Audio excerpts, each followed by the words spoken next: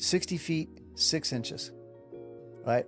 The greatest one on one confrontation in all of sport. How would you describe the Portland Pickles playing style? Like you mentioned, we start playing our type of baseball. What is Portland Pickles baseball?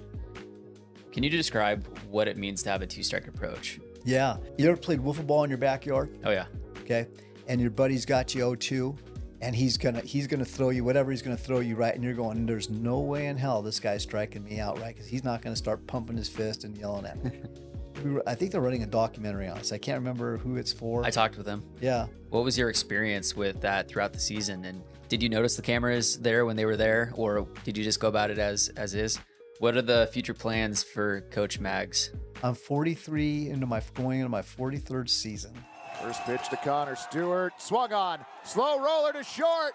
Bobbled by the shortstop. Rod comes in. The Pickles win. Your Pickles are the 2024 West Coast League champion.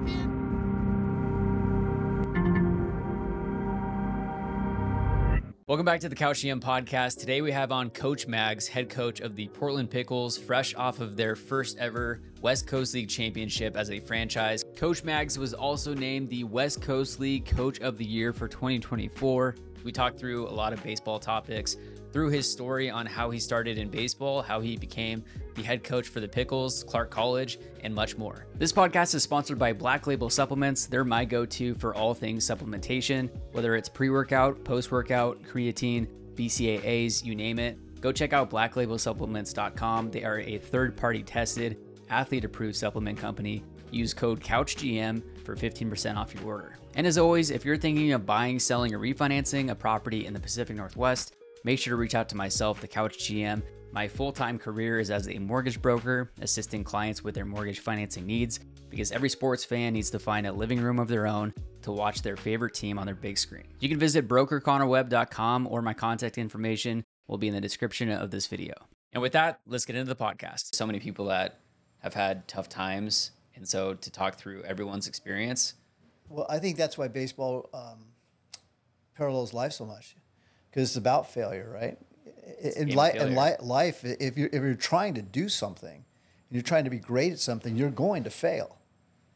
And it's if okay. You're not failing. You're probably doing something wrong. It's okay to you, fail. You need to push yourself. Failure is not defining. It's how you how you rebound from fail. That defines who you are, and you're going to have many defining moments in your life, not just one. There's going to be a ton of them. Right. Right. So you, you, you your life every day is a defining moment.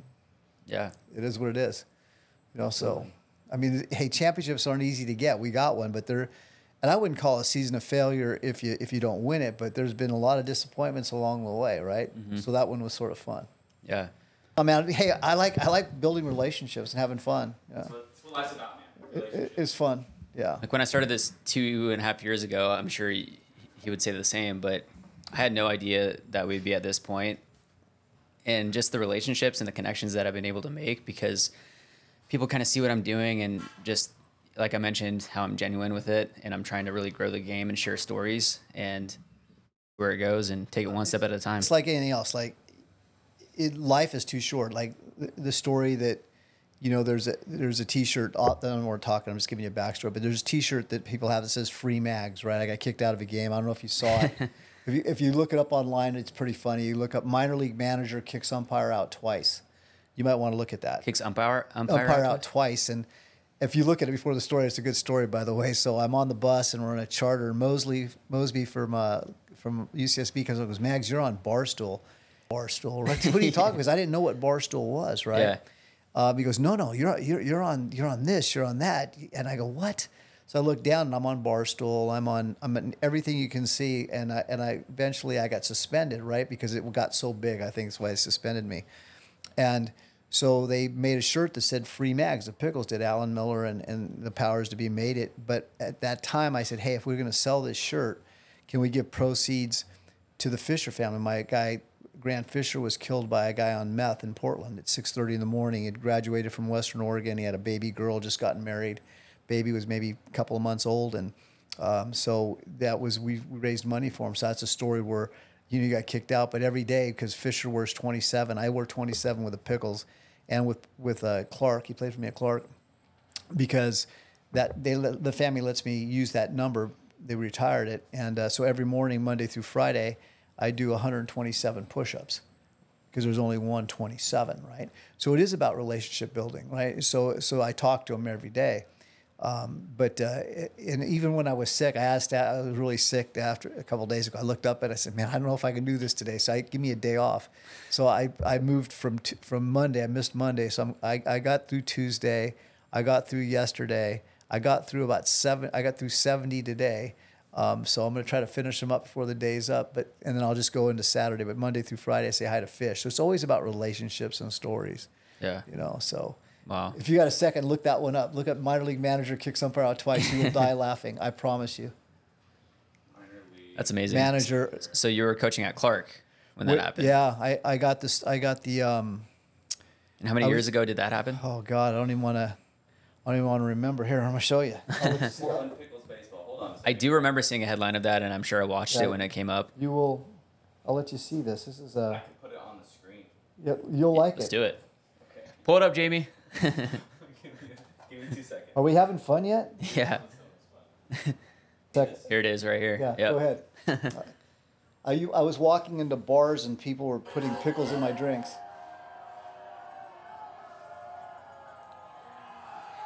There's number one.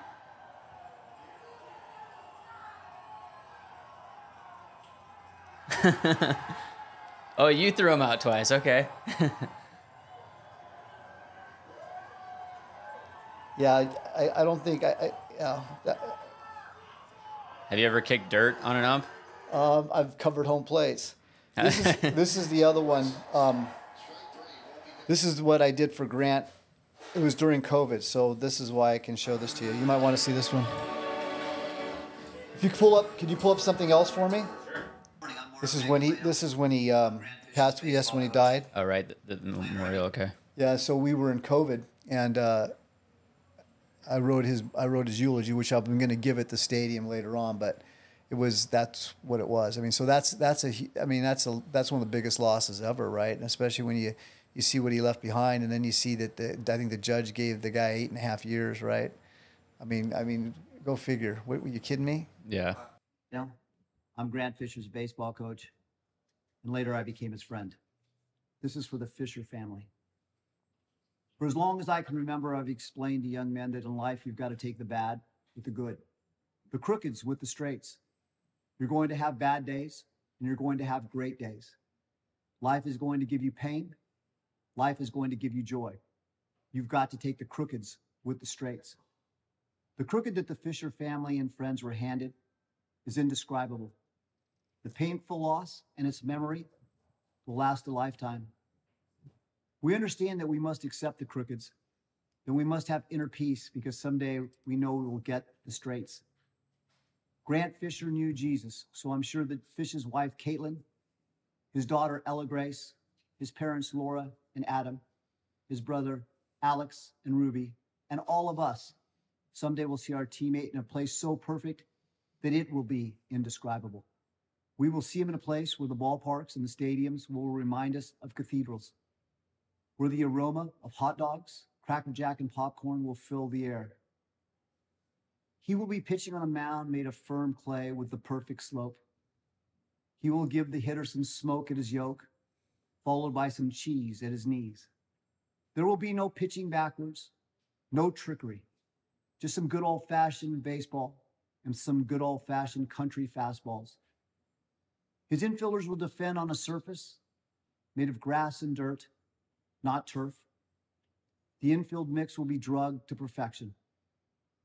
It will be as smooth as God's ocean on a windless summer day. We will see him in a place where the hops are true, in a place that sacrifice is still respected, in a place where good pitching still beats good hitting. We will see him in a place where he will toe the rubber and give us the best that he has, just like he did as a husband, a father, a son, a brother, a teammate, a friend. Just like he did when he was a penguin and when he was my player. So rest assured that Grant got the call that every ball player dreams of. He got the call up. He's been promoted to the big leagues. God has put the game ball in his locker, and he couldn't have picked a better man. Dios te bendiga. God bless you. That's Grant Fisher. Man. That's, that was deep, man. Yeah, that's Uh, Very I, I love that kid. Love him. Still do to this day. Talk to him Monday through Friday. And uh, yeah, so except when I take a day off, he gave me a day off. I told Jody said uh, because I have to get hernia surgery. She goes, I go, I still got to do my push-ups. And she goes, I'll talk to Grant. so yeah, we can we can bust out the remainder for today's after the podcast here. Yeah, yeah, sure. Yeah, I, right now, if I get through ten, like I, I break them down. Like uh, if I'm in a hotel, I'll go like fifty, and then I'll go forty. I try to I just stagger them out. But when I was sick this past week, I was going like, okay, twenty. Yeah. so it was it was hard Just trying to get through it. just getting through it, man. Yeah. Yeah, Well, Coach Mags, thank you for coming on the podcast now that we've kind of officially started. yeah. There we go. And uh For having me. yeah, really excited to hear, you know, more of your story and how you've gotten to this point, the story of the pickles. You know, you've already shared uh, shared very touching story. So let's let's start with a bit of your story with how you got into to baseball and sports and you know how you got to this point where you're you're at today. I don't remember ever not being a baseball player. My brothers and my dad always were playing, and uh, there's pictures of me at five years old in catching gear. Uh, I, I tell my wife all the time, Jody, that uh, I don't remember ever having a birthday and not being in a baseball uniform. So uh, since since I was little, I always wanted to be a baseball player. Who doesn't want to be a baseball player? Grew up wanting to be a cowboy or a baseball player, right? That's what you want to be.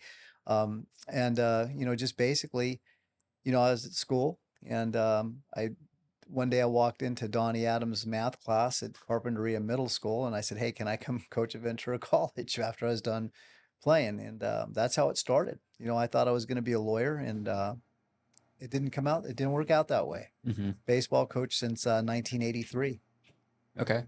So so you play did, did your father get you into baseball initially? Yeah, my dad was one of the co-founders of a little league in Saticoy, California. You won't find it on the map. It's outside of Ventura, right there on the on the ocean. Um, so he was one of the founders there. So we've always been around baseball my entire life. Um, my mom and dad, obviously, huge in my life. Uh, my biggest my biggest heroes, my mom and my dad. Watched them work and and raise a, a big family. So it was it was fun to to be around them. Not all the time, right? Because they're parents. Mhm. and my parents were tough and, and disciplinarians. So I uh, had to toe the line and I had five older brothers. So you towed the line or your brothers to let you know. Was there some, some good competition between the brothers? I was, um, so we were like the uh, Brady bunch. Uh, my mom and dad got together and put two families together. And then I came later. So my brothers were older than I was. So they, I always looked up to them. And from, from all my brothers, I learned something. You know, I've got a brother, uh, one of my brothers, uh, Melton, is a Ventura County Hall of Famer uh, coach. My other brothers, Ronnie, Ray, had great careers in business. And my brother Richard, God bless him now, he's gone. He was a musician. And my brother Kenny was an educator. You know, he's got a PhD. So my parents did a good job of raising us and putting us in the right direction. Yeah. So then you get in it sounded like you knew that you weren't going to be playing past high school. I played college, played at Westmont College in Okay. Santa Barbara. Um, I, I wasn't a great player. I was a good player, and I think I just, uh, I, just being competitive, um, I, I got, I, I was able to play, you know, past high school. And uh, when it was over, um, I had great relationships, and I loved the game, and I couldn't see myself wearing a suit and tie every day. So uh, that's what I did. Put on some uh, baseball pants and cleats. Get Yeah. out- get back out there. Hey, man, I, I, I still get to go to work most, you know, 10 months of the year, 11 months of the year and put on a baseball uniform. Yeah. I mean, how, how many people want to do that? I, I, I, I get to put on stirrups, pants, belt, put on a hat, and I get to spit. It's fun as heck. Chew seeds, chew gum, whatever. Yeah. Now I chew seeds and chew gum, right? But in the old days, I was chewing like before it became you don't do anymore, right? I was I was always having something in my mouth, right? Quick tangent. When did you first hear about Big League Chew? Did you chew Big League Chew? I heard about it probably when it first came out, uh, and I did chew it, but I used it differently than other than other players probably did. I used it to wrap my bread man in my tobacco. Okay. So I would chew the big man, big league chew, get it nice where I wanted to do, and then I'd wrap up my chew when I chewed. I don't chew anymore. okay. Yeah, so I used it differently, Yeah. but that's a true story. Okay. So Awesome. No, yeah, that's funny because I had the big uh, the founder of Big League Chew on the podcast recently. I've met him. I've okay. met him. Good, good guy. He's from Portland. Yeah, he- Yes. it was at a Portland Pickles game where one of my friends ended up meeting him. Yeah. good guy, great guy. Uh, met him, I think, before the pandemic. 'cause he used to bring samples or, or bring stuff or come see us, especially when we had Mavericks night. We we honored the Mavericks a while, a long time ago, but I think it was before the pandemic, and he was out there. Good guy. Yeah. So you get into col- uh, coaching college. Mhm. What was the transition like for you going from player to now having to coach and, and help players grow? I think I was eh, looking back on it. I, I think you always come out thinking you know everything, and then uh, not until later do you realize you don't know anything. Uh, so I think I wasn't a very good coach for a long time, um, and I think my enthusiasm probably kept me above water. That was it. I was always enthusiastic. I wanted to be on the stadium. I always enjoyed coming to the stadium and going to work and getting to ball games. I think young coaches now want to be head coaches or be the boss really fast. Uh, if you look at my career, I spent most of my years as a um, head head assistant or an assistant coach or a hitting instructor or something like that. I think you got to apprentice. I don't think you can just come out and, and all of a sudden you think you know how to teach because coaching is just teaching. Your classroom happens to be either in a, in a classroom setting or on the field, but we're ultra competitive too. So you're a teacher who is an ultra competitor, right? You want the very best. So you you don't come out playing and say, "Hey, I'm I'm ready for this." I mean, there's a lot of things you need to learn. I mean, you, you got to handle people. There's there's social sides to coaching. There's psychological sides to coaching, not just the X's and O's. Uh, so it's good to apprentice. Let's think about it. A plumber apprentices, doesn't he? Mm-hmm. I mean, peop people people learn their trade. It's a trade. Take your time and do it right. Don't take shortcuts. Uh, I think the first time I got my head job was a high school job, Santa Paula High School, and I was a young guy. And my bench coach was named Art Reichle, uh, UCLA Hall of Famer, NCAA Hall of Famer. He's my bench coach, right? He's retired. That's dumb, right? So, um, and I was horrible. I- wasn't a very good coach. I, I I just didn't know what I didn't know. And looking back on it, I just think I thank God that that Coach Reichle was there. Um, he he told me he taught me a great story. One day we were getting our backsides kicked, and he said, "Sometimes you just got to take the e-ticket and go for a ride." So for you guys that are too young to understand what an e-ticket is, it's Disneyland. Okay. Right. So when we grew up in Disneyland in the 60s and 70s, they still had ticket packages. And like let's say ticket A had all like the small world, the teacups, all those the, the rides that nobody wants to go on. But the E ticket had the Pirates of the Caribbean, right? It had uh space it was a space mountain back there, the Matterhorn, right? It had the good ride. So he would say sometimes you got to just take the E ticket and go for the ride because there's nothing you can do about it. So um, I say that to young coaches now. So when things aren't going well, I said this might be the day you take the E ticket. So you've got to learn to do things the right way. And you just can't learn under one person. I've been blessed. I learned under Coach Reichle, Coach Anglin, Coach Adams. Um, you know, Rich Hills played a big part in my life. Andy Lopez has been a big part of it. I mean, in little ways, they they probably don't even know guys that John Kirkgard, guys that I just watched from afar, or that I played with, or that I've worked camps with. Um, I've been very fortunate, and those are just a few of the men that uh, um, I've idolized, not idolized, but I've respected and um and and from afar or even if we have friendships. So i just try to learn from as many people as possible i think that's important for people that want to be coaches. Don't just settle. Learn from from as many people as you can. Take what you like leave what you don't like and then create your create what you want to build. And when you're first getting into it, I'm sure you don't know like what your coaching style is or how you want to coach. And so by playing for various coaches, by learning from various coaches, you're able to kind of combine the goods, you know, take out the bads and create your own coaching style over time, I'd imagine. Yeah, you do. You create you create your your your beliefs, what you what you believe in, what you want your program to be, what you want to be. I don't think you can change your personality though. Mhm. My personality is different than other people's. Uh, I'm outgoing. I'm loud, uh, and I like to, I like to I like to coach with my voice. I like to I like to be energetic, and then when it comes to game time, I'm a firm believer that players win and managers lose. Uh, My job is to prepare them for the game. So you prepare your class for the test, right? Mhm. Prepare them for the test, and then you let them go take the test. Well, they're prepared, and then my job is to keep them keep them in a position to win in the seventh, eighth, or ninth inning, and let players get it done. Uh, so I I think that the calmness in the dugout's important, but I also think you need to be who you are at all times. And I, I I'm really believe in practice. I love I love work. I think you, you don't eat unless you work, right? That's the way it's supposed to go. You work, you eat. You don't work, you go hungry. So you work, you eat. You work, you win. Right? Follow the process. So Mhm. that's what you do. Yeah. So walk me through those those next few years. You get into coaching in college. You start, you know, cutting your teeth in the coaching world. What are, what are the next years after that and that experience? You're poor. Uh, you know, you don't make any money. I think that's another thing that people think you're going to get out of college. You you want to be a you want to be a baseball coach. You want to do this. You want to do that. They start looking at a paycheck. Well, there's not a lot of money all the time, and you have to you have to really be disciplined, and you really got to have.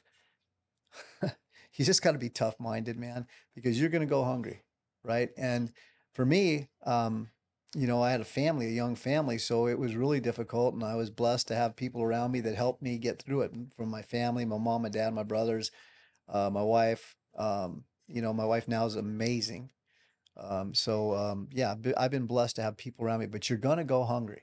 Don't think that the that baseball and coaching baseball is about making a lot of money at this level. It's just not. Mm-hmm. Um, and you can ask any coach that started, you know, when we started, it's just not there. So you've got to be creative and, you know, maybe start giving lessons, create a, create some type of plan outside so you can make ends work until you, you get a chance to get a steady income. Mm-hmm. As my dad would always say growing up, you know, beans and rice, rice and beans to try to save up and just, you know, get through the tough times. Hey, there's nothing better than, than beans and rice. Yep. Yeah, yeah. I'm, I'm a Mexican, right? My mom and dad, my mom would make homemade tortillas, and and she said, say, "We got poor man's meal tonight, and it'd be beans and rice." And I, I couldn't wait, man. It's the best thing ever, man. Yeah, right. Yeah, it's best. Love it. Yeah. currently. So as low as twenty thousand dollars. Minor league coaches currently make between twenty and sixty thousand dollars a year, and that's in twenty twenty four numbers. Yeah. Yeah. I mean, and it, yeah, it, looking at the numbers of it's ridiculous, and we can get into this and opinions on your thoughts of the major leagues, the stupid amount of money that that certain guys are making in general, and then you look at as we just described the minor leagues. You know, you're not you're you're working off of that that signing bonus if you got one to live off of, and you're making hardly anything. The living conditions have improved, I've heard, but it's a grind. I mean, as with anything when you're first starting out. Yeah, and I think that's what we forget that it's it is a grind, and in this age where you have everything at your fingertips, young people have everything at their fingertips. The grind isn't something people want, which why is why people say baseball is not popular anymore because people don't really want to work, right? This is about work, Mhm. and that's why I think it parallels life so much. I mean, you you've got to work for what you want and you- you're not going to get paid all, until you you start going up those levels, uh, whether you're a player or a coach. So uh, it's important to understand that that grind is part of baseball. Uh, it's it's it's at our core. It's a game of failure. Yeah, If lots you- of failures. If you succeed three out of 10 times, you're probably an all star. Absolutely, and you're making a lot of money, Yeah. or you've got a scholarship someplace, or you got a big NIL deal, right? Three out of ten. Right. So every hundred at bats, you're failing 70 times. You're walking back to the dugout empty handed.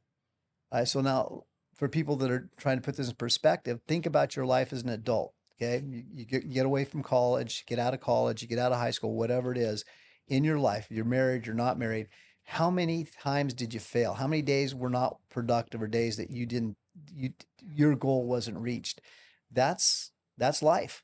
Right. So baseball parallels life.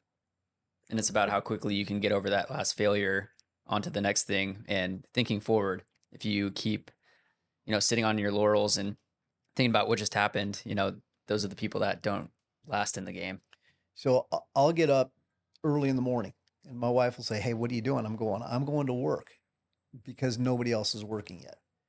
I, I want to work and because I want to beat somebody at something, even though they don't know they're competing against me. I want to beat them in my mind. I want to beat them at the morning.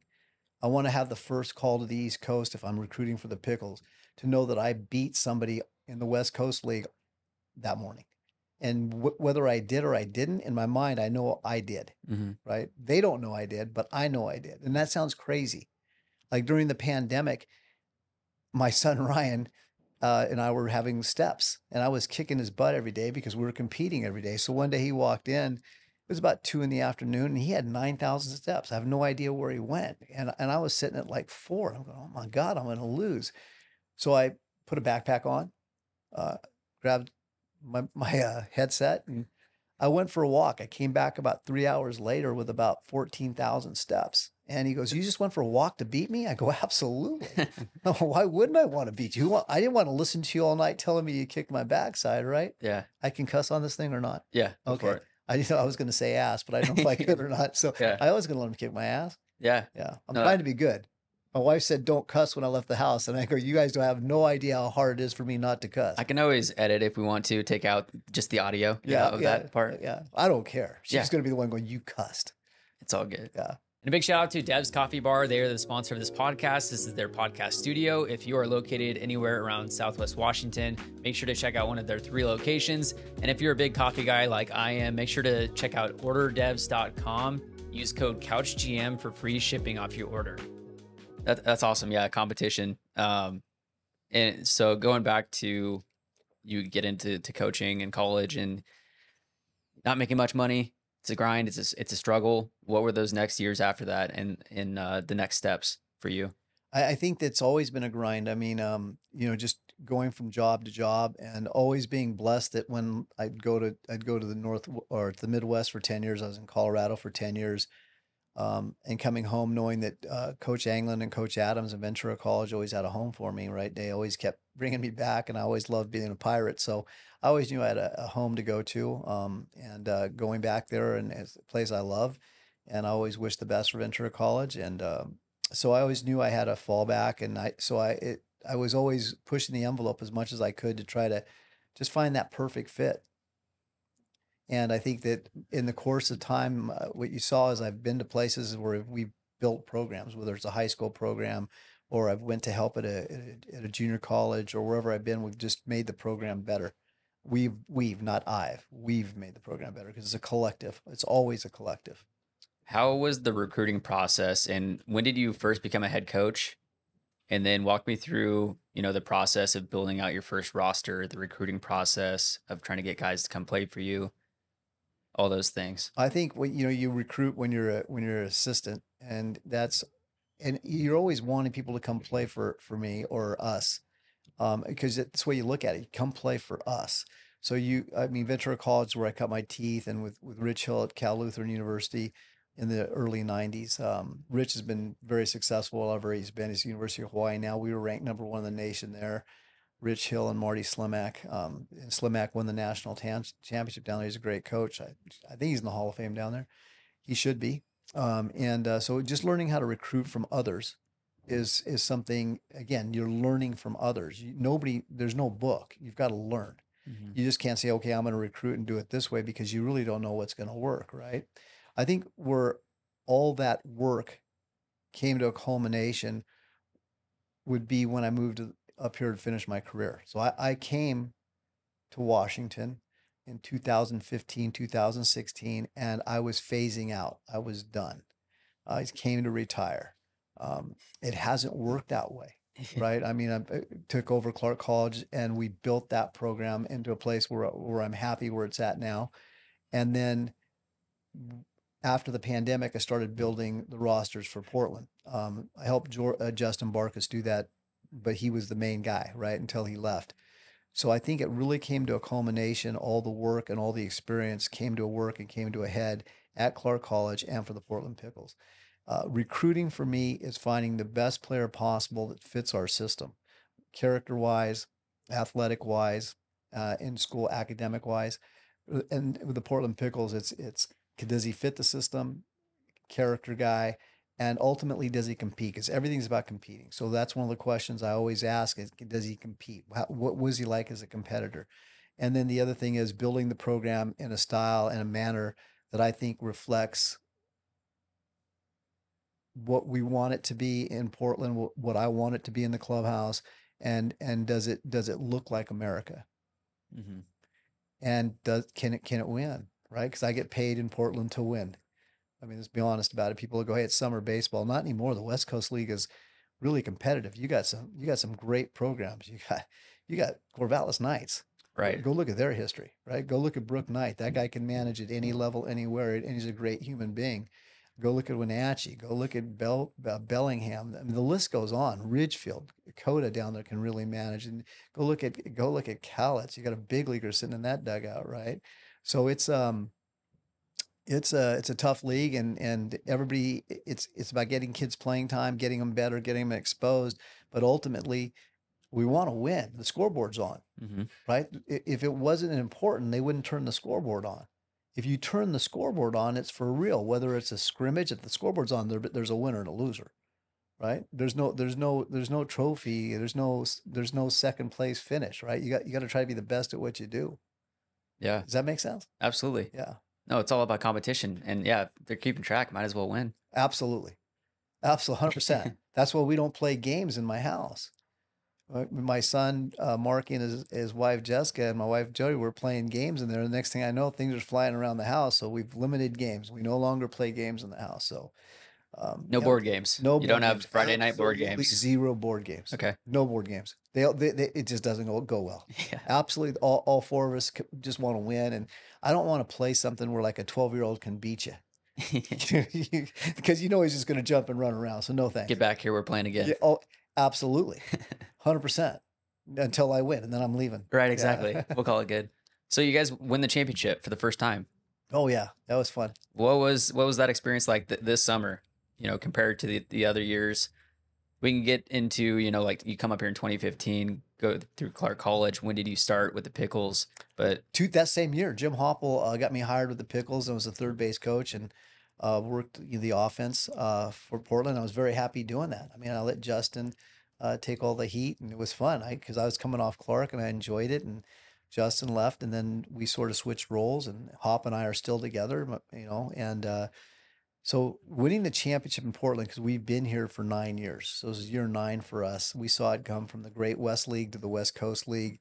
Um, and for me personally and uh, and Hop, you know, going coming in and getting the job what four years ago, sort of midway through the season, sort of right in that little niche, not midway but close to midway, and then losing that first year that on the last day of the season, um, on the road and that bus ride home, uh, it hurt. So then we went to work right away. I can tell you this: I was recruiting September first. I took like a couple days off, hit September first, and we go 36 and 16 the next year, and um, Ridgefield eliminates us uh, and sweeps us, uh, and losing that that that loss, I think, um, especially at home, um, that one hurt. And and everybody goes, it's summer baseball, but not hurt because you put your time into recruiting the team. You're you've you've put something into something and long hard hours putting a team together, and we just didn't we didn't get it done right. So that's my fault because we didn't get it done. I, you know, so you go back and you look at and you say, what did I do that I shouldn't have done, and what can I do better? So go back to work a little bit earlier that the next year, and and I think we're better. That was last year, year three. Um, I think we're better, and we're we're playing pretty well. And then we just got banged up. No excuses. We get banged up, and we are struggling. We are just limping to the finish line, and you know how baseball is, right? Um, we have a we uh we go to Ridgefield or Ridgefield comes to us or the top seed. We just barely squeak into the playoffs and we sweep Ridgefield. And we shouldn't have. They were better, but we were just hot, Mhm. right? So we go play Corvallis in the in the South Conference game and and Corvallis beats us, I think five to two. Um, they played great. You know, we we had guys. uh, You know, we just were limping, and but they were better than us, and they they were they were better than us on the field. Their manager was better than me. Their coaching staff was better than us. Um, they just beat they just beat us, and they deserved the championship. And I, I, I, it was just a a good year. It wasn't a great year, so we went back to work even earlier. I mean, really did. Um, like I think we lost, and I think I was on the phone two or three days later, starting to put a roster together. Um, because you get to the championship game, and now you, you got to taste the cake, but no ice cream, right? So we work harder, and we put together this roster, and we I thought we did a really good job of staggering arrival times and departure times, and I thought we were in really good shape. And you know, obviously, we're going to finish with 40 wins in the regular season and 44 overall. And then with about two to three weeks left, we lose Kevin Ferguson, who's from University of Hawaii, uh, who was leading us in RBIs at the time. We lose Patrick Keegren, uh, who's a All Star going to University of San Francisco, WCL All Star, and we lose uh, the Freshman Player of the Year from Cal Poly, uh, Peanut Garza um, to dislocated thumb, and they're all going to be gone. And now I'm going, oh my goodness. So we plug we plug and play. We get really fortunate, and we make we get a call, uh, and we get a kid named Aaron Barber, and he's able to do the things we need him to do in the two hole. Like he can really handle the stick. He hits for average, and he's probably one of the best bad ball hitters we've ever seen. Um, and he can really play, can really play. And then we get a guy named Cody Kashimoto from St. Mary's, and he's switch hitting middle infielder who's and he comes in and he plugs that shortstop hole. Um, and I go, okay, these guys are not the same players, but they're really good players, but they do things a little bit differently. So we we start playing our style of baseball, but a little bit more, right? And they play great for us down the stretch. They're red hot, and um, we're just excited. They, they they brought excitement to the clubhouse. I mean, instead of panic, we just said, okay, n- next guy up, and we continued to go. So we get to uh, we get to Bend, and they're really good, and we beat them on the road, and then we beat them at home, and then we get to go see uh, Corvallis Knights, and it was just a good ball game. I mean, it was a, was it four to one, something like that, and you know they played they played well, we played well. We just that's just one of the days we beat them. I mean, we played them, well, we played them seven times. Seven times we played them. We were two and five against them. They they controlled the entire series. In fact, I don't even think we beat them the year before. They had our number. So we we we beat them on the very last series day, game six. We beat them for the first time. Freddie Rodriguez beat them, and all of a sudden, hey man, we made them bleed, right? Yeah. We can beat them, right? Super Bowl has Superman has has because they are They're human. They're they're. I'm not sure they're human. They might have been human the day we beat them. They're, Yeah. I mean, people, they're good. Mhm. You know, they some some people call them the evil empire. I I, I don't like that. There, there's nothing evil about those people, from their management to their manager, their coaching staff, to their players. They treat the game the right way. They're respectful. Um, they just compete really hard, and they're really good. Uh, so to beat them was good. So we now we know we can beat them, and that, and I thought we played well in the championship game. So that was fun. And then you get Wenatchee, which I thought was going to be a trap game because you're coming off that high of defeating the seven-time champion, and you're coming into a game that you've got to be emotional for too, because it's basically another game seven. You just you just won a game seven against Corvallis, and now in theory you got to win another game 7 Um, I I, th- I thought we were a little flat, but I thought we we just grinded through it, grinded through it. In the last inning, we did what we did, right? You know, we we win with two outs, walk off, and um, I, I I firmly believe the good Lord had a plan, and we just were we were on the right track, and we just followed it because we got we got everything we needed in the ninth inning. We just had to we just had to make it happen. yeah. And now you guys are getting fitted for rings. Yeah, that's pretty fun. yeah. It's pretty fun. I'm I'm I'm, I'm looking at them now. I mean, I I saw the first draft, and and I know they're doing some other things to it, but I know that our ownership is going to do the right thing, and they always do, and and they're excited about it, and so are we. How would you describe the Portland Pickles playing style? Like you mentioned, we start playing our type of baseball. What is Portland Pickles baseball? every team that I coach and that I'm that, that I'm that I get to create their their their identity, what how I want our teams to play like. And Nick Krupke is probably going to just go, "Are you going to say this again?" Nick's my friend, and, he, and, I, and the first time I used this line was with him. Uh, he was doing a special on us at Clark College, and I'm going to say it again. I said it just the other day uh, on uh, Northwest AM AM Northwest. Every team that we play, because we're in the north, or every team that I coach, because we're in the Northwest, we don't want to be the Jaguar. We don't want to be the sports car. We want to be the 1975 F 150. Dual cab, dual tanks, four wheel drive, a little chrome to keep us sexy. uh, and we just want to grind. Um, and so, so it's old school, and people go describe old school. Old school means that we're going to fight for 90 feet. Mhm. We're going to fight to control the first out of every inning defensively, and we're going to do our very best to win first base with no outs. Get our lead, our LOM on every inning, leadoff man on every inning. That's the goal. Because if he gets on, we're going to score. We are going to put up a picket fence offense, right?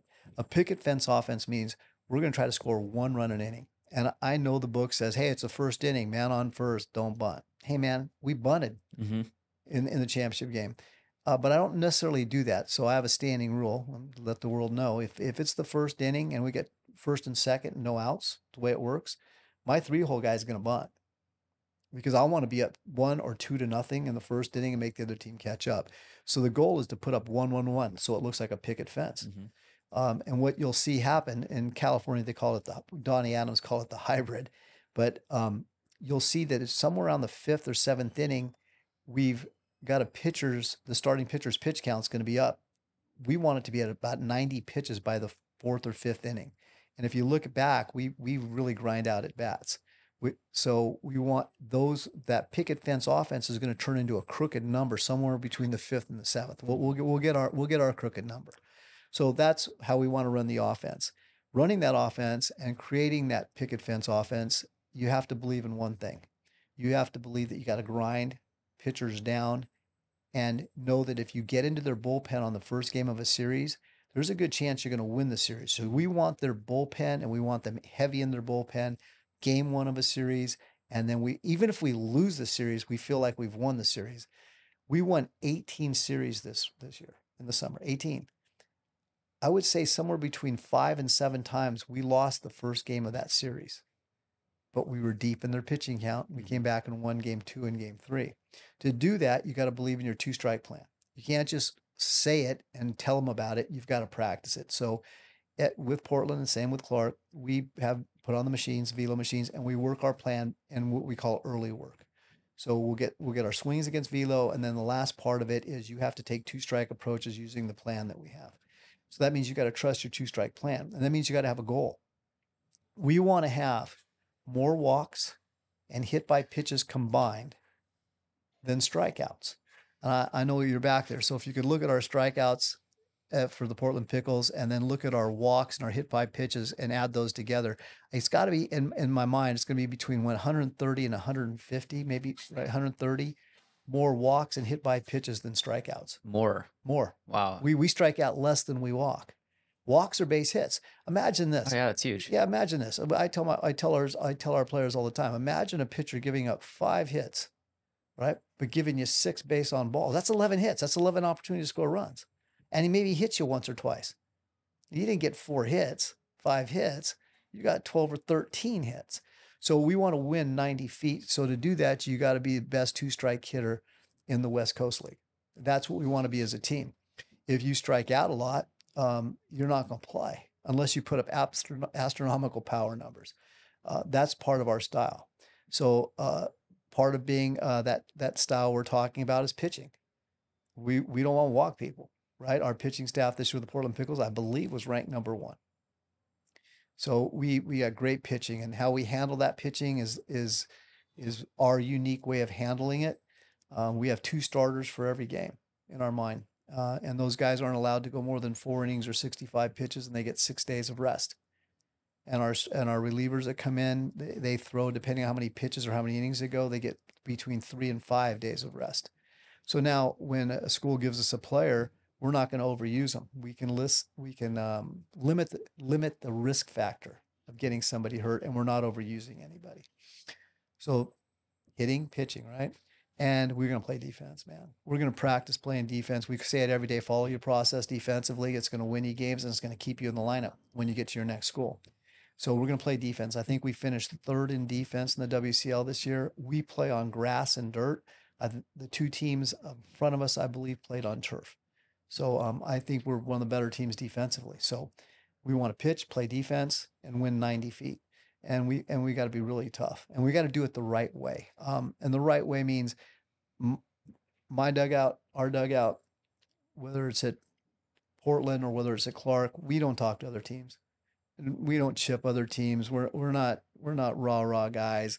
I want our guys to get off the bench, shake hands, talk baseball. I mean, do what they do in the dugout, and um, and just treat the game with respect. Um, I think it's important to understand that we represent the guys that came before us at, at all at various levels. The guys that have put on a uniform, we represent them. It doesn't matter who they are. We want to do it the right way.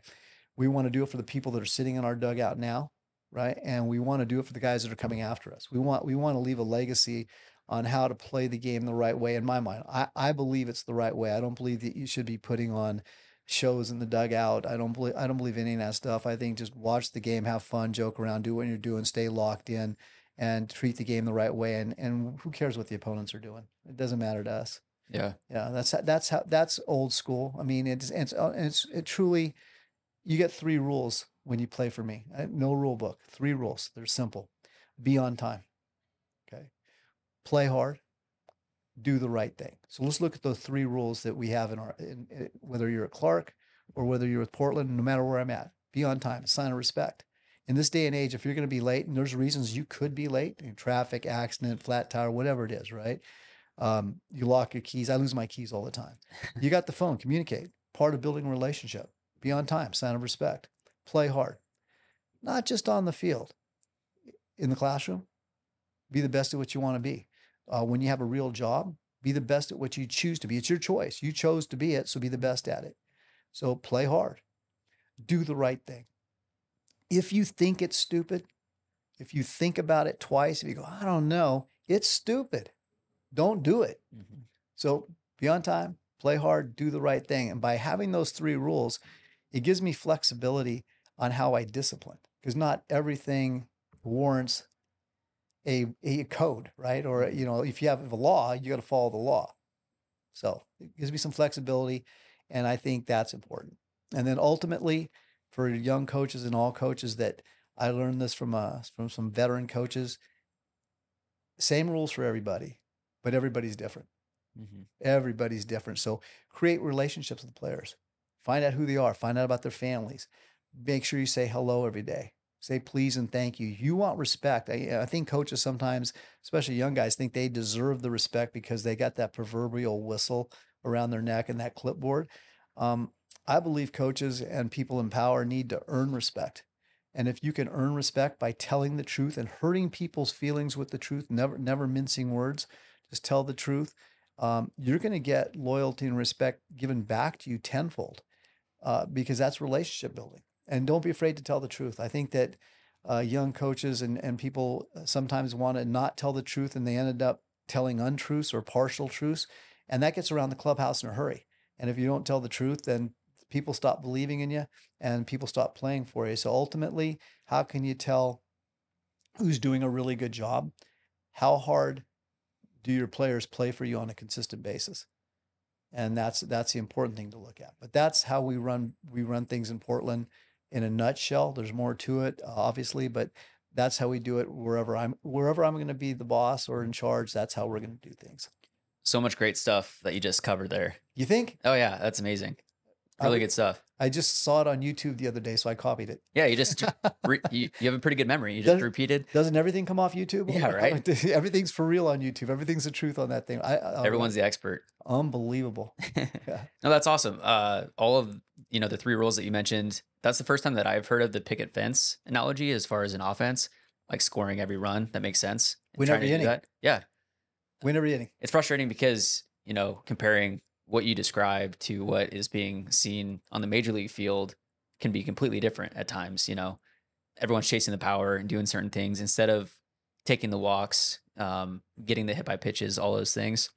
And that's why I think it's really important, like for pitchers, the, their whip, walks plus hits divided by innings pitched. And then also with the batter, it's not just the batting average, but the on base percentage, as you mentioned. Can they get on base? And then the slugging, can they do the damage? Um, it's all really good stuff. And Well, I, I build my lineup eh, sort of like that. So, like, Mhm.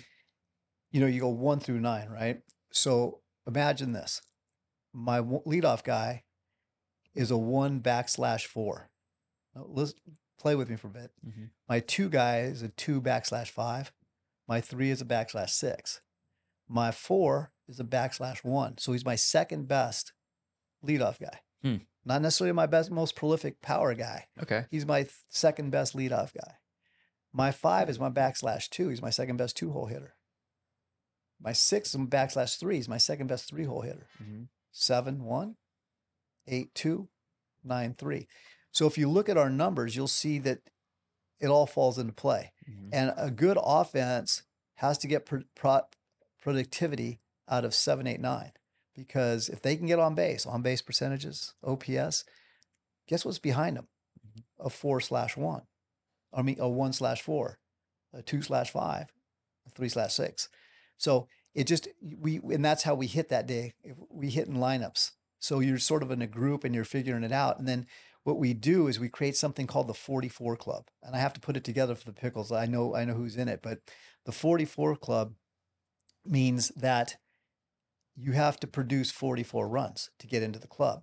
Runs scored, RBI, plus we add a special thing to it. It's called a baseball play.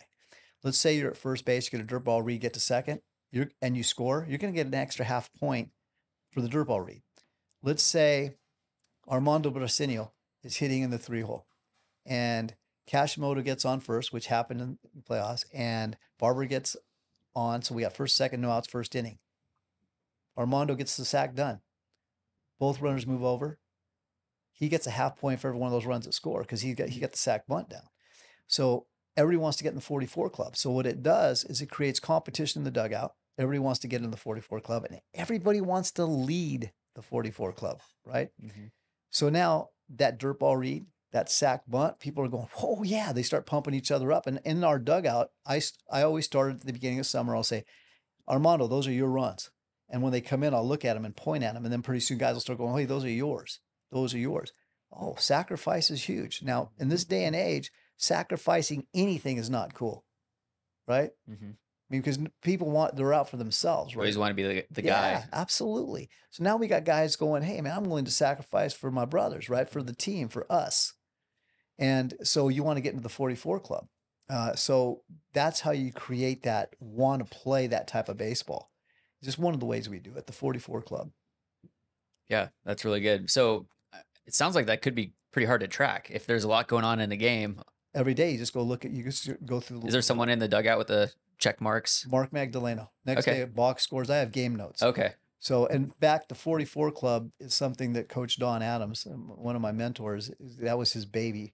And I, I brought it with me. So I'm going to give him credit for it. But we added on the baseball play stuff. But he's, he's, a, he was, a, he's a genius. Um, so, yeah, I'll look at it the next day and I'll start tallying them. So I keep a running tab of things as they're going. And then Mhm. every, every once in a while they'll get updates on it. So they get, and they'll get sweatshirts. So we're working on, I'll, 44. they'll have the pickles on 44 someplace. Okay. Yeah. That's cool. I still owe some guys out there from 2017, 2018. So I, I know you're going to text me. I, I'll, you'll get one. So, but um, yeah, that's an important part of it. And we just want people to buy into that system. And I think that, you know, you're starting, I, I watch Major League Baseball when I can because I'm pretty busy, but I, you're starting to see some of the, some of the things come back. Well, the pendulum's starting to switch, right? You know, you want to talk about launch angle and this, and it works. In, in theory, it works because pitchers were taught to pitch on a downward plane, right? Uh, but pitchers aren't dumb. You can run a fastball up, especially with spin rate, and it's pretty tough to hit that with a launch angle. That's why strikeouts are up.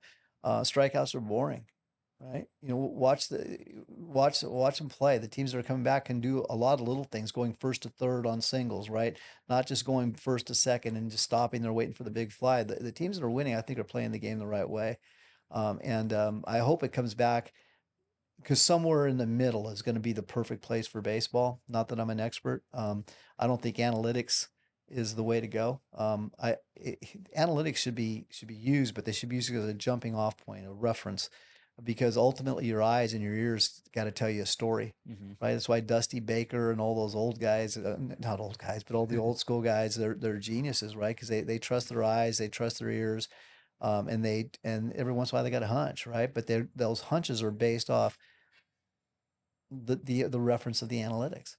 If a guy's three for three on the day at the plate, you're not going to pinch hit for him late in a game against a same handed pitcher just because the analytics tell you that the pitcher might do better against that type of guy and the hitter might not have the best history. Because, like t- today, he's hot, he's feeling good. You want to keep him in there and give him the opportunity. I, I'm I'm not pinch hitting for him. Right. Um, other guys might. Um, and I think a couple things. I wouldn't pitch hit for him because I wouldn't want to go home and listen to my wife and and have to answer her questions. Uh, that would be the first foremost because that it it'd just be it's bad. So um, I wouldn't do it because the guy's seeing the ball well, right? And um, analytics aren't the answer. I mean, I'm sure the guys that are going to disagree are the analytics guys. Uh, it- they probably got C's in gym class. You know, um, they didn't play. Uh, so I'm going to trust the guys that played. Mhm. I'm going to trust their eyes. I'm going to trust. I'm going to trust what they what they see. Uh, and um, didn't didn't the New York Yankees just go back to having all baseball guys in their dugout or something like that? I can't remember the story. sure. But I have to look it up. I read just pieces of it, but Like no analytics guys are allowed in the dugout. I, I don't know. I have to look at it. But I Yeah. love watching Boone manage. I know he gets criticized, but I think he's a baseball mind. I think, he, I, and I trust him to, to run the Yankees. I'm not a Yankees guy, but I like watching him work. Right? There's certain managers you just like watching work. Um, I just believe baseball is is played played on the field, and, and analytics have a role, but they're not the they're not the all they're not all everything. Yeah. And that's just me. And I and I'm not a big leaguer, right? I'm just uh, basically I get to watch big leaguers and be a fan. I'm just a guy who who's never really had a real job. I've always been a baseball guy. I mean, I'm, I've had a couple of real jobs and they suck. yeah, it sucks going to work. It's much better being on a diamond. Yes, absolutely. Yeah. So there's the analytics part, like like I described late in the games, those type of analytics, and then there's when you're talking about getting on base. How do you describe to hitters and to pitchers? You know, like the dominating the zone, like the Mariners have, right? To where you show the analytics of if you win the 0-0 count, you get to 0-1 as a pitcher, you get to 1-0 as a hitter. The the analytics behind the future moving forward, that the the rest of that at bat is going to be heavily in your favor if you just win that 0-0 if you win the the one one. Do, do you know in 1978 they didn't call it analytics, but we knew those things. Yeah. we did. We did. In the in the 80s, we knew that. In the 90s, before analytics were there, we knew that you're. We used to say, if you throw strike one, you're gonna your your batting average is gonna drop this amount of points. Mhm. We didn't have analytics; it was just old time guys telling us that, right? Um, so I believe analytics are, like I said, a, a good reference. I don't think you can live and die by them. I mean, it, are there certain teams in the big leagues that live and die by them? Yes, and I think they're underachievers. I mean, because they have some really good players, but they're living and dying with them, and they and so. Um, but I don't knock people because I'm not in the big leagues. That's just my thought. I'm just saying I, I it doesn't make sense to me. And I still think that you got you've got those guys sitting in the dugout. You got guys bench coaches. You got players all over that are doing it that have lived it, have gone through the grind of the minor leagues, have gone through the big leagues.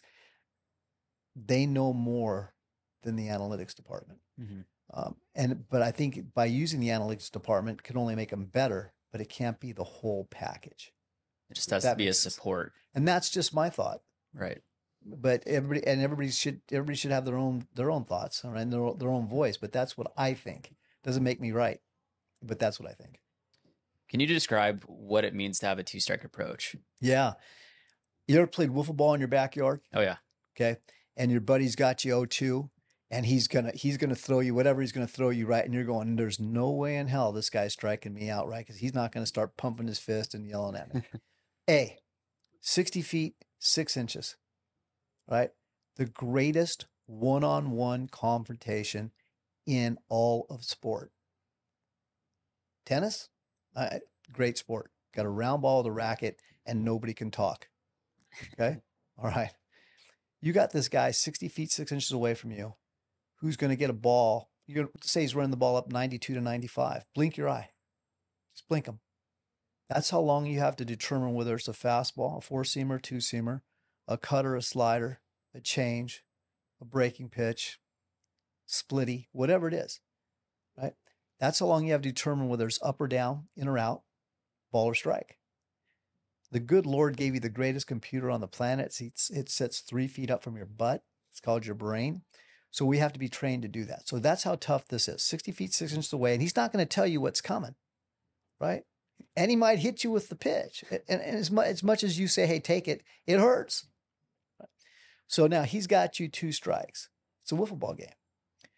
Our plan is simple the umpire never determines the outcome. Okay. And we never take a fastball for strike three.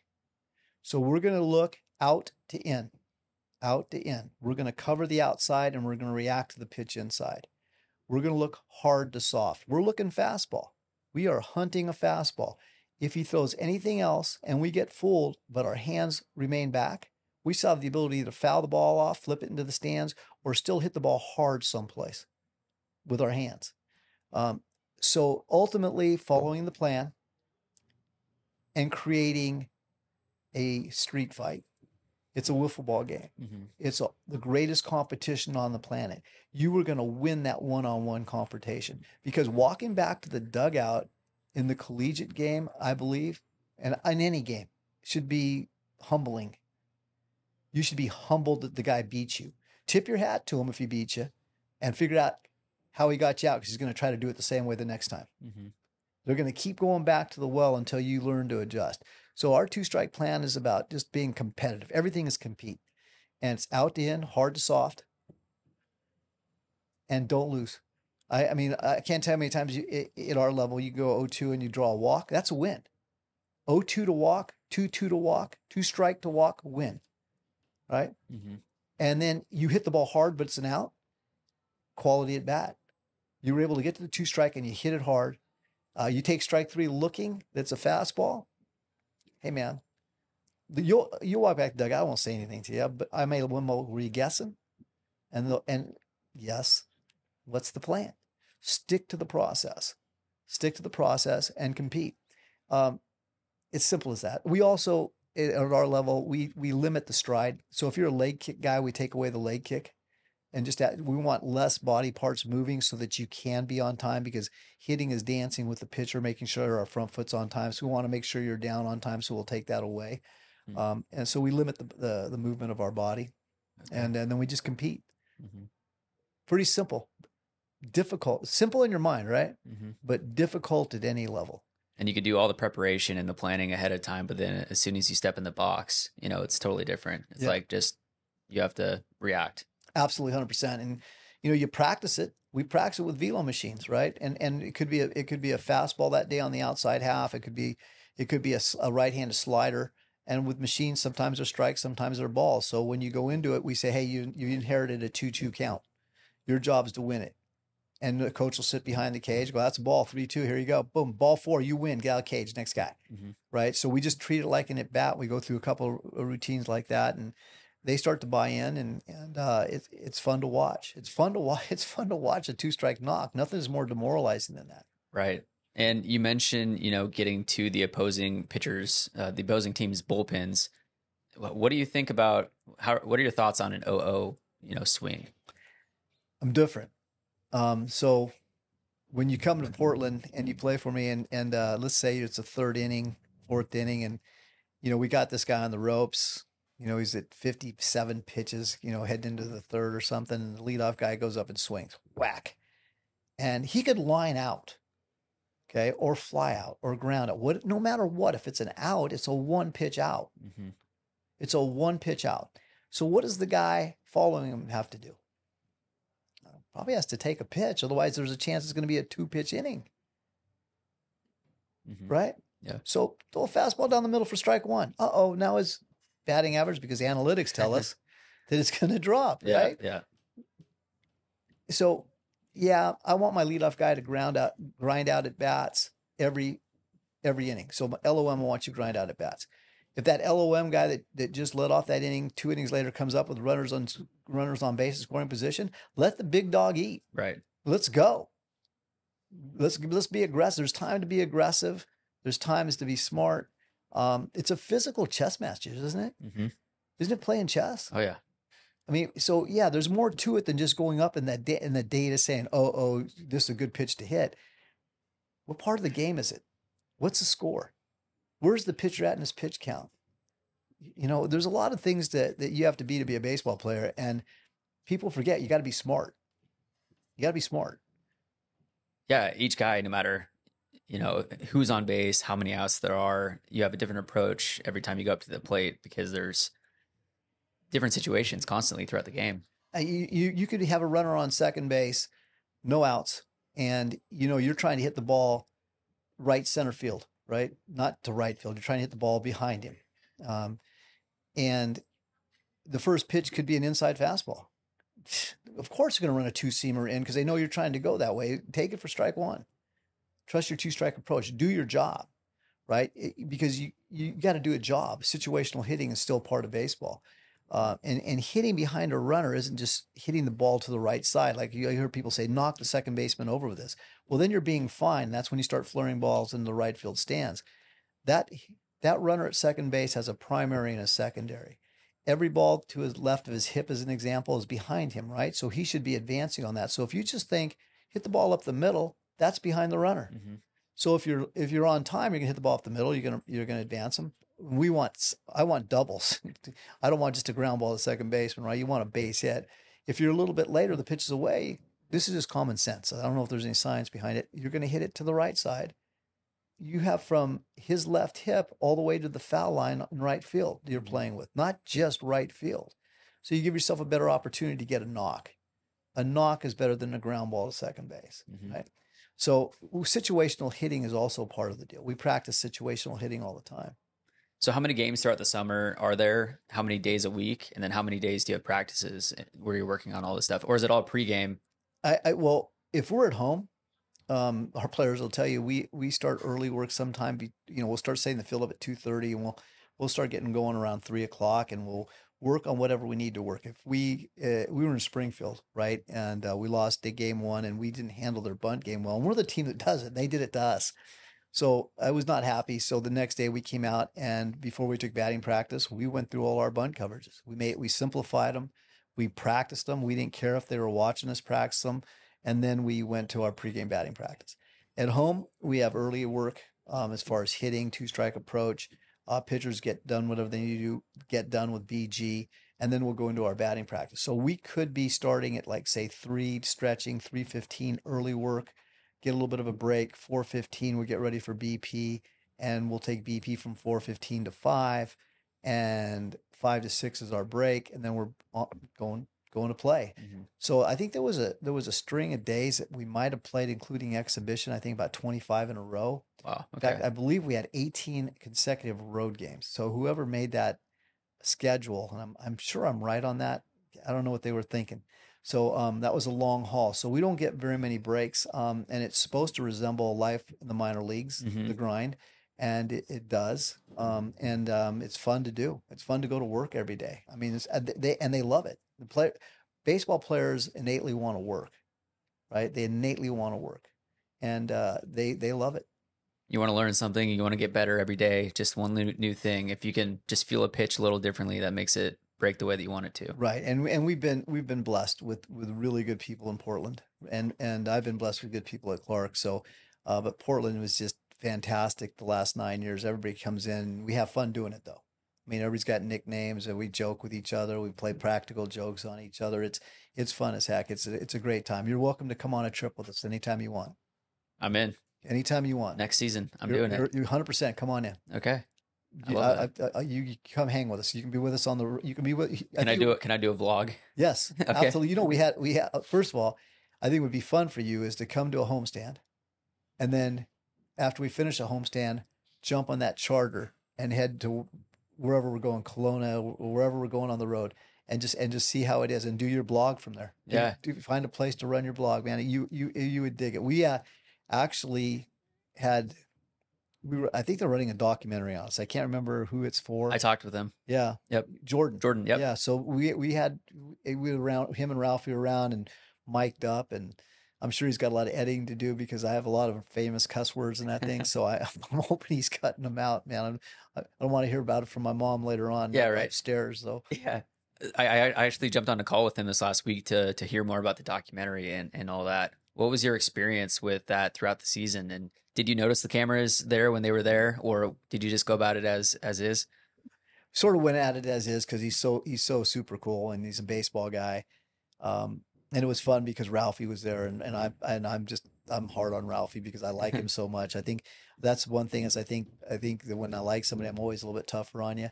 Um, but it was fun. I mean, for the players, uh, being mic'd up was weird, Mhm. right? Because I at first I thought, oh man, I can't say this. you know, I can't say this, and then before, but then you forget, right? You're you're just being yourself and and sh- and stuff. see, you see that? It almost came out. Shit just It happens. shit just it almost came out, and and so you just got to watch yourself. Um, but uh, it was it was fun. I can't wait to see how it comes out, especially because it was a it was the perfect ending. It was a fairy tale ending. Yeah, Ralphie's being lifted up by all the yeah, players. Yeah, that absolutely. image. Yeah, that that was uh, that was fun. I just uh, the whole thing. I mean, it was uh, the player, the fans rushing the field. It was crazy. I'd never seen anything like it. And uh, Jordan Barkus, our third base coach, looked at me and goes, "You got to stop this." I go, "How the hell am I going to stop this?" I mean, there's uh, even 700 people out there, maybe more.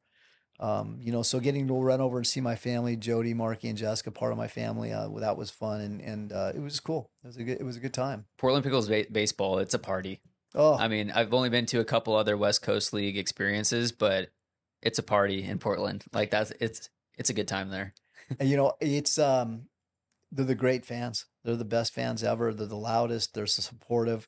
Um, it's uh, it's definitely it's definitely a tough place to play in uh, for the opponents, uh, and it's a place that the new pickles every summer have to learn to play in because they've never experienced anything like it either. Uh, and that championship game was over the top. I mean, it was a, there was a lot of people in that place, and it was loud. Like you couldn't hear yourself think. I don't know if you saw some of the stuff that's come out lately.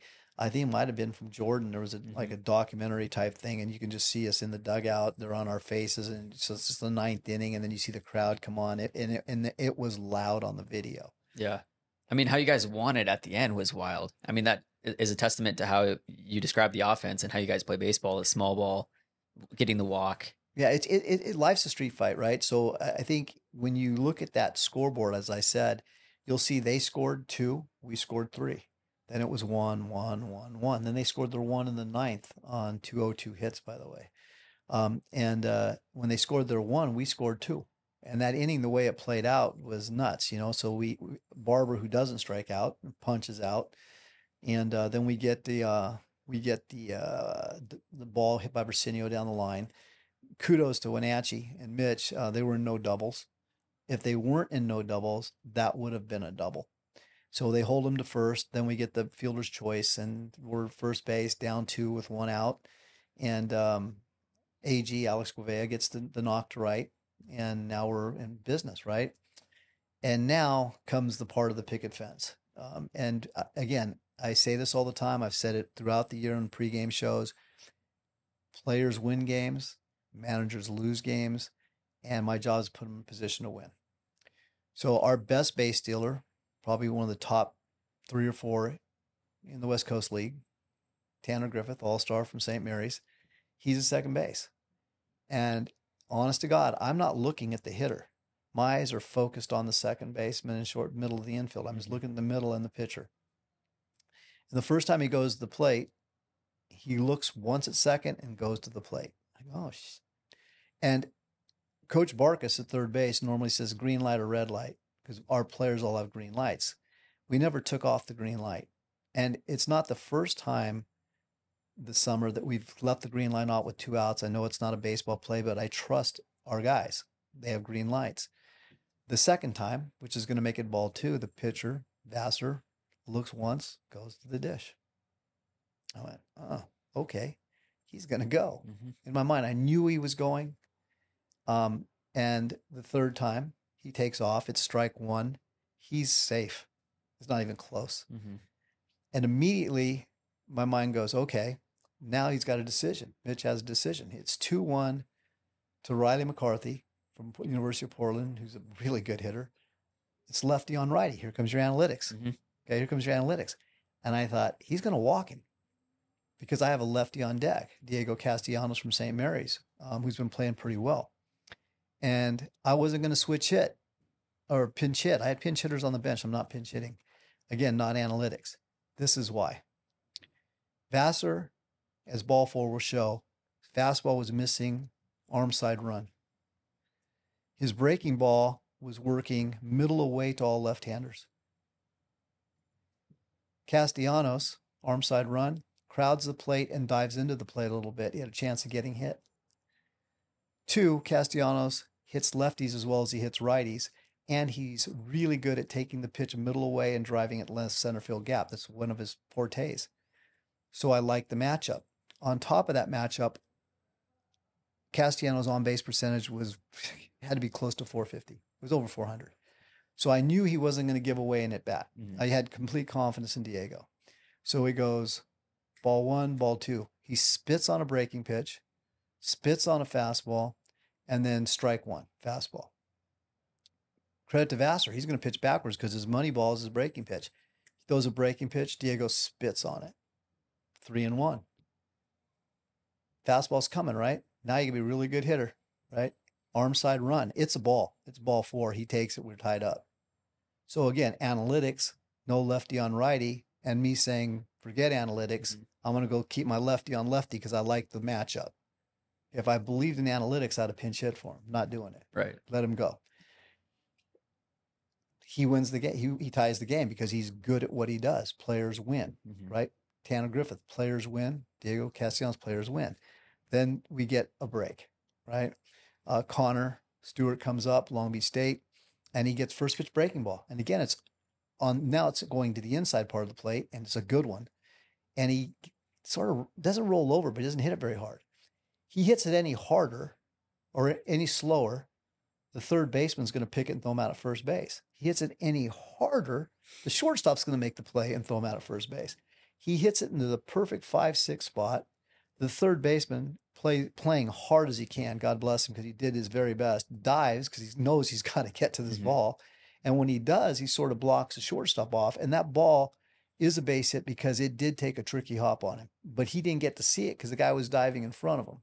So, yeah, we Willie Keeler, I mean, hit him where he ain't from the early 1900s, dead ball era. Look him up.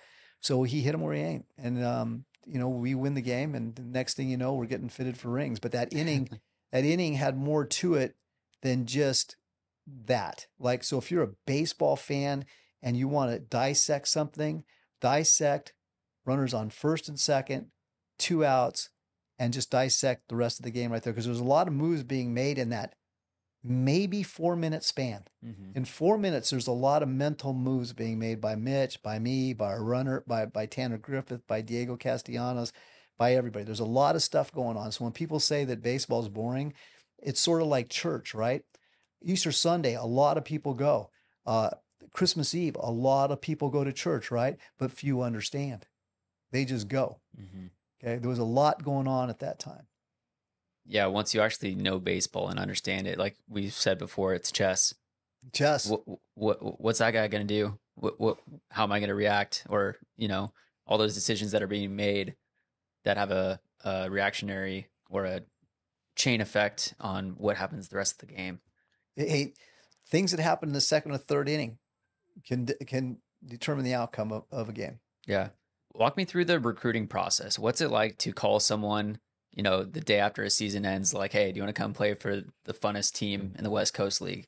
It's it's uh, every year every year um, it gets it gets more competitive um, because everybody's everybody's getting so much better, and playing for the Portland Pickles though I think is uh, it's an honor, man. I, I, you put on that uniform. There's something to be said about putting on that uniform. Uh, we take great pride in how we how we wear it, what we do when we're in it, um, and you know you can you can say we're playing in, in the funnest place ever, but once we get on in that dugout in our clubhouse, that's our surroundings.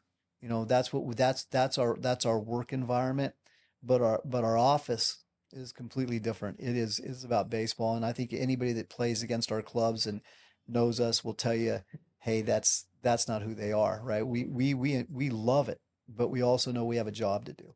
So coming here, you've got to be a special guy in my mind, right? You got to be wanting to work. You mm-hmm. want to get better.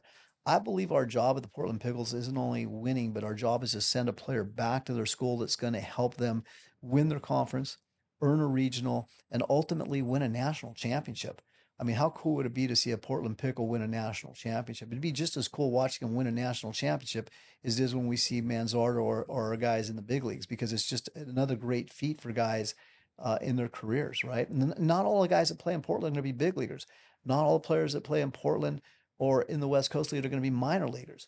They just may be great college baseball players, and that makes them extremely special. I mean, those guys that get to play college baseball are special athletes. So we want them to be the very best they can possibly be at their schools when we send them back. So playing for Portland, um, or playing for Corvallis or Wenatchee or or Ridgefield or Cowlitz, the, all the great organizations in the West Coast League, Walla Walla, all of them, Yakima, they're all good. Mhm. Victoria, they're all good, and they're all trying to do the same thing. That's why the league is so special. Yeah, and you really don't know the the talent that comes through this league until five years down the road when Mitch Haniger, all these other guys, Travis Bazzana, uh, you know, comes through. So that's why I'm trying to help spread the word of like, hey, if you're, if you're in Ridgefield, there's a really cool game happening right down the road that you got to go check out. It's great competition. Same thing with Portland. Um, how how do you have to compete, or what's it like to compete with the Cape, the Cape League, Uh, I, you, or is there any? I don't know, think I, I, they're the Cape, right? Right. They're the Cape. Um, I don't, I don't know that I try to compete with the Cape. I, I want to say that uh, we want we want the same type of players the Cape has. I try to get the same players the Cape has, and we don't always get them. Nor, and very rarely do we get them. Uh, great league, obviously, long tradition. Mhm. Everything that goes with the Cape is for real. Uh, but all we worry about is our our shield, the West Coast League, and you know our- our owners in our league, our players in our league, our general managers, we all understand what we have to do here. We're trying to create a, a product that is universally thought of as one of the top summer leagues in America. And I think we're we're heading in that direction. I believe in uh, the people that run our league. I believe in our organization. and I believe in other organizations. I think we're all in the same boat and we're all paddling in the same direction. Uh, and we're just trying to win championships against each other. But we're all pulling in the same direction. It's a great place to be. It's a great place to be part of. And that, I'm saying that sincerely. You can walk into other stadiums and watch how you're treated, and you're just treated with so much respect in other stadiums. Um, you, you can't put into words how it feels to take young people into areas and know that they respect you and they're going to treat you the right way. It's it's a it's a good it's a good environment and it's a fun place to be.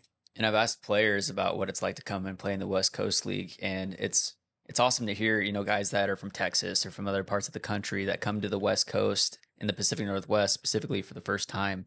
They're traveling to Ridgefield, to Cowlitz, up to Canada, all the way down to Bend, just to see how beautiful it is up here and take it all in this this experience. It's opening people's eyes, and um, yeah, I, I think it's awesome. It's really cool. It's it's a cool place. I mean, and and how we do things in the league is fun. I mean, there's always a promotion, and the players the players love it. And and the, and the countryside's beautiful. Those bus rides are long, but you get to see some pretty cool things. Do you want to walk me through some of those players that we were talking about before we, we jumped on Um, here? Well, let's see. You got uh, this year we had um, Carter Fredrickson drafted by the Kansas City Royals. He, he was out of University of Oklahoma. First went to Auburn, then had to, then went to a junior college, and then going to Oklahoma. And we only got him because he was scheduled to go to the Cape, but he broke his thumb. So Cape Cod guy, he big physical, outstanding human being. Um, six foot five, six foot six, runs a six five, six six sixty. Um, the first ball he hit was 111 miles an hour exit velo. I can still remember the shortstop's arm going backwards, and that's uh, he's just tremendous player. And then Shea Timmer out of um, Salt Lake City Community College, he played for Jeremy Berg was his pitching coach, and and Jeremy pitched on at Ventura College. So I, he was one of my a former player, and he sent a Shea Timmer 6'10", 265, um, triple digits with his fastball and uh, great athlete, another fantastic human being. He's now with Detroit Tigers. So two guys this year alone, um, and then there was two more the year before, um, and one year before that. So in my first four years of managing here, we've had what two, four, five, or six guys drafted. Uh, some guys from small schools, some guys from big schools, but um, we're picking the right guys, right? And uh, I think our roster too is I'm I'm proud of it. It's a it's a diverse roster. You know, um, in college baseball, uh, Latino participation is roughly about 6%. African American participation is roughly around 5%. I could be off a couple of numbers there, but it's not very big. Um, so our, our diversity, our diversity is, is huge to me. I, I'm, I'm proud of what we do that in that, in that way as well. Um, so yeah, in fact, the championship game, you know, uh, 80% of the starters were Americans of color or different ethnic groups. So a pretty cool thing. So those percentages that you mentioned, that's Pacific Northwest. That's nationwide. That's nationwide. Yeah, I, Really? I'll show you the f- stuff. I've, I've I got stuff on it. 2022 2023 Latino participation was six percent. in The Um, country. Country. Wow. It's it's a suburban sport. I mean, it's a the travel ball is expensive. You know, we price people out. Um, so yeah, I think um, it's something that we should look at. But it's also you just got to find players who can play. It doesn't matter where they're from or who what they look like. It's players that can play and that that are people of character and play the game the right way and and treat others the right way. And so, but on championship night, um, I think I don't think I know. Eight, eight of our 10 starters, including the DH and your manager, were Americans of different uh, ethnic groups. That's awesome. Yeah. Yeah, that's cool what you're, what you're doing. Yeah, so I'm, I'm proud of it. Um, you know, um, so yeah, it's, it's good stuff. What are the future plans for Coach Mags? You know, how much longer do you see yourself? I'm 43 into my going into my 43rd season. 65, going to be 65. Um, I don't see myself golfing because I'm not going to. I, I don't like to hit things and then I have to chase it. Um, That that way you'll be pissed off for four yeah, I, hours. I would just be angry. Yeah. I, I've tried it. It's just not for me. My son loves it. I'm. I, I'll. I'll drive the cart and drink the beers. I don't know. Um, it's coming. I, I know it's coming. Um, my mind's still fresh, so um, it's coming. Uh, I'd like to. I'd like to. I'd like to maybe player development someplace. You know, whether it's in a minor league system, um, an instructional league, or maybe just catching on with a young coach someplace that wants an old guy hanging around. Uh, I know that I can't give up the game. It's a love affair. yeah. You know, it's it it truly is a love affair. I I, I don't think that besides my family, I've loved anything like this. Uh, I love getting up in the morning. I love putting on the uniform. Um, even when you're tired, you just you get to do it. I still I still I still dig it, man. I still dig it. I but I know it's coming. Um, I was I don't know what I'm gonna do. I really don't. I mean, that's nobody's ever really asked me that. I don't know that I'll ever stop doing what I do. Um, it's just too much fun. It's too much fun, and I don't know what life would be without getting up in the morning and trying to be be good at something. And what are you going to be good at? Uh, mowing the lawn? Oh no, thanks. you know, I don't like mowing lawns. Um, I don't know. I don't know, but it's coming. I mean, but not now. I, somebody asked, well, why don't you retire after you just won it all, right? And yeah, sounds like a great idea, except for I think all of us in this room right now have at some point or another, either in elementary school, played tetherball or, or foursquare, and nobody leaves until you get beat, right? Or you're playing basketball in the park. You don't leave the court till somebody beats you. Or if you're playing wiffle ball, you know, you got to play the next guy up, but you, the winner plays, right? hmm the winner plays. Yep. So um, I don't think I could leave now because I would feel like I'm running away from a challenge, um, and that we're running away from a challenge. A challenge is defending it, and that's probably harder than winning it. And I, I haven't talked to Brooke about it because he's got to defend it seven times. But I'm sure, you know that it- that it was you know knowing everybody's hunting for you, right? We're we're going to be hunted next year. And uh, that's going to be the fun part of it, I think, is getting up and it's a new challenge. So I don't, I don't, retirement's coming. Um, honestly, and I'll say this publicly, probably my retirement will come first at Clark. And then after that, um, I'm happy with what we've done at Clark. I'm happy with what we've done at Portland.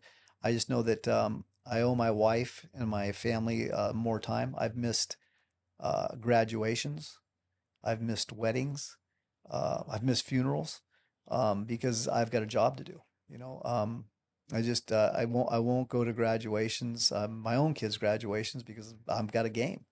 I'm getting paid to go to work. Uh, I know it sounds. I always tease them. I go, you know, way, way, way to go. You way to do what you're supposed to. You're supposed to graduate. Nice job. Way to go. Um, yeah, I feel bad about a lot of the things that I've missed, and uh, but again, I are the regrets. Yes and no. I mean, I'm, I'm. It's baseball, you know, and, and and you think you grip the baseball. Pick up a baseball, you're gripping it, right? And you're not gripping it. It's gripping you. If you really love it, man, it, you're not gripping it. It's got a hold on you, man. It's got a, it tugs on your heart. It tugs on your mind. Um, yeah, it's I don't know. I can't tell you. It's, it sort of sounds corny, but yeah, I don't know. I only asked that because you came up here to retire. Yeah, I and then you ended up getting r- right back into it. Yeah, I mean, and doing it at a really, at really high levels, and doing it a lot, doing it a lot. You know, um, I think we started Clark last year, like July, uh, J- January tenth ish, and um, we made a playoff run there, and I think I had like five or six days before I got back into a Portland uniform. So I, I think from from that date until August sixteenth, maybe maybe 15 days off. I probably put this, these are real clothes, Mhm. except for this, because I wore this today. I, I probably put on real clothes on average of maybe 30 to 35 days a year. My, my big, my big thought process every morning is when I'm at Clark, I get up and I go, all right, is it going to be royal silver or black today. And that's what I put on. And then when it's Portland, I why why change into clothes when you know you're gonna be working in the lineups, looking at film, and heading to the stadium about 1.30. So I just get up and put on whatever shorts we're gonna wear for pregame that day, Yeah. and whatever shirt I'm gonna wear, and then I'm done for the day. So, um, yeah, it's I, I don't I don't know what I'd do without baseball. I mean, uh, my my wife would have me travel all over the place, and that would be sort of cool. I mean, we get to go. I get to take a vacation this year, October fifteenth. We're going to bury my mother in law, God bless her, in Ireland. So we're going to Ireland, and um, I looked up the Irish Baseball Federation, and they have a they have a baseball federation. Like, hey, hey, you need a coach out no, there. I'm going to go and visit it. Yeah. That's one of my deals. I haven't told my family yet because if I tell them, they're going to get mad. But I'm going to go visit them. Um, I'm, I want to see what they do. Right. I started looking at pictures and the whole deal. So I want to I want to see if I can meet somebody. So if anybody sees this and has any connections with the Irish Baseball Federation, I'm going to be in Dublin and Belfast, and I would love to come see your your your stuff. I'm sure we can get you a connection. Maybe some uh, Irish guys want to come play some summer ball in Portland. Hey, you never know because when I told Portland Pickles about it, they said, "Hey, we want to go play them because they'll take the All Star team like they did uh, a while back when they went to Mexico. Yeah. they'd probably go to Ireland to play them. I've heard that they want to travel international and do a documentary on that also. Well, guess what? There's somebody in Belfast get a hold of me. Dublin, get a hold of me. We'll make it happen. Yeah, let's do it. Hey, there's your there's your blog. Yeah, there we go. There you go. Make a cool video out of Yep. it. Appreciate you coming on. Great Oh. conversation. I'm sure we'll have you on again sometime. I'd love to be. feel free to wear your feel free to wear your baseball pants next time. You know, I tell you what, I'll, I'll tell you, I'll come straight from the stadium next time. There you go. On. But you guys are both welcome, and I'll make sure we get you some pickle gear down here, and oh, I'll bring you some pickle beer. You guys both drink beers? Hey, I tell you what, the pickle beer, I thought it was going to be awful. It is fantastic. pickle infused beer. Or like they- it's, they- it's it's it's ca- they have their own beer. It's not the infused stuff. It's just Yeah, they have their own bar. Yeah, I know. It's the have you, Pickles been, have bar. you been there? I haven't been there yet. Phenomenal. I need to go. And have the Mags pizza. The Mags Pizza. Yeah, got Sounds- pizza. I like it. It's, Yep. it's named after me, so I, of course I like it. But yeah, I like it. It's good stuff. Their wings are incredible. Uh, there's an upstairs and downstairs, and they uh, there's sports going on over the place. I, I I wasn't there, but I heard the championship game. The place went crazy because they had it on all the screens upstairs, downstairs. So pretty cool stuff they do. I mean, we, we were treated really well by the Portland Pickles. Alan Miller, John Ryan, Scott Barkus, Ross Campbell, uh, Parker, and Courtney. They they're fantastic, man. They treat us well, and and we're excited. And that bar is sweet. The bar is sweet, and the bartender makes a good drink. We'll have to meet up there sometime for sure. Oh, I tell you what, I'll treat. Let's go. Let's do it. Instead of I said, you know come- lunch next week, we'll- let's just do it down there. We'll go down there. Yeah. we in? We're doing it. Bring your wives. We'll take my wife. She All can right. lie to you guys. Okay, there we go. Yeah, that's that's another one for you. Get some coaches' wives on here. They'll tell you some stories. yeah, right. Yeah. That's amazing. Yeah. Really appreciate your time. Thank, you. Thank you. you, man. You guys be safe and God bless you guys. Yeah, thank you. You bet. First pitch to Connor Stewart. Swung on. Slow roller to short. Bobbled by the shortstop. Run comes in. The Pickles win. Your Pickles are the 2024 West Coast League champion.